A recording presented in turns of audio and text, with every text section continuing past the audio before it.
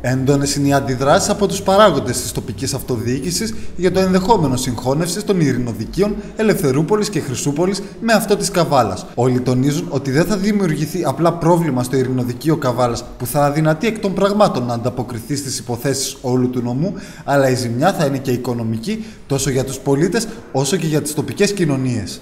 Μόλις την περασμένη Παρασκευή το μεσημέρι, ο Υπουργός Δικαιοσύνης ε, σε τηλεφωνική επικοινωνία που είχαμε μαζί μου ανακοίνωσε τις προθέσεις του Υπουργείου αναφορικά με την ε, ε, συγχώνευση ειρηνοδικείων Χρυσοπόλεως και Παγκαίου στο ειρηνοδικείο Καβάλας. Ευθύς εξ αρχής ε, του είπα στην τηλεφωνική μας επικοινωνία ότι αυτή η διάθεση του Υπουργείου μας βρίσκει κατηγορηματικά αντίθετους.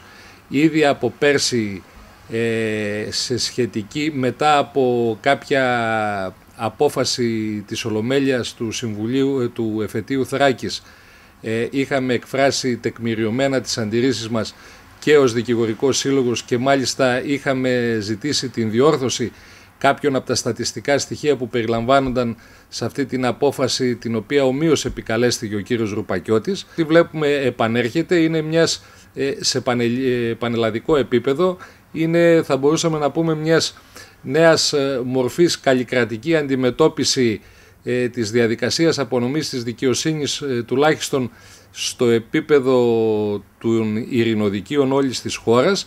Ε, η εξαγγελία είναι για περιορισμό του αριθμού των ειρηνοδικείων όπως όλοι γνωρίζουμε σε ένα ποσοστό της τάξης του 50% και βεβαίως ε, αναφορικά με τα τοπικά πράγματα και όσον αφορά το ειρηνοδικείο Χρυσοπόλεως και όσον αφορά το ειρηνοδικείο Παγκαίου και τις τοπικές κοινωνίες αλλά και το δικηγορικό σύλλογο μας βρίσκει αντίθετη αυτή η διάθεση του Υπουργείου.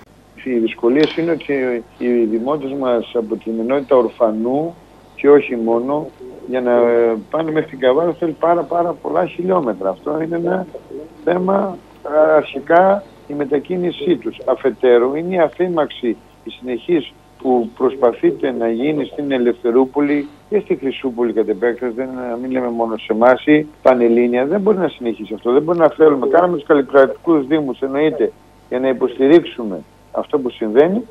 Ε, και εμείς ξεκινήσαμε μετά, αντί να στηρίξουμε τις τοπικές κοινωνίες, να κάνουμε αφέμαξη των υπηρεσιών.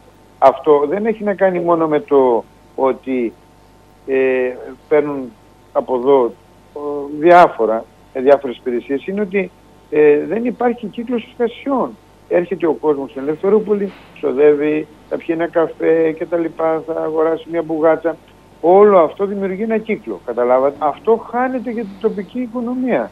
Πρέπει να βρούμε κάποιον τρόπο να αντιδράσουμε. Εμείς λοιπόν ως παράταξη θα συνεννοηθούμε για να βρούμε κάποιον τρόπο αντίδρασης συμφωνώντας και συνεννοούμενοι με άλλους φορείς της επαρχίας Παγαίου και ίσως και του ευρύτερου νομού Καβάλας και ίσως κάποια στιγμή συνεργαστούμε και με τον ΕΣΤΟ για να κάνουμε μια μαζική, μαζική επίθεση στο Υπουργείο ώστε να κρατήσουμε τα ειρηνοδικεία μας όπως έχουν γιατί δυστυχώς αποξηλώνοντας τις υπηρεσίες όλες από κάθε περιοχή και ειδικότερα από το Παγαίο που εξυπηρετεί το μισό νομό Καβάλας νομίζω ότι ερχόμαστε σε αντίθεση με αυτό που λέγαμε καλλικράτη στους Δήμους.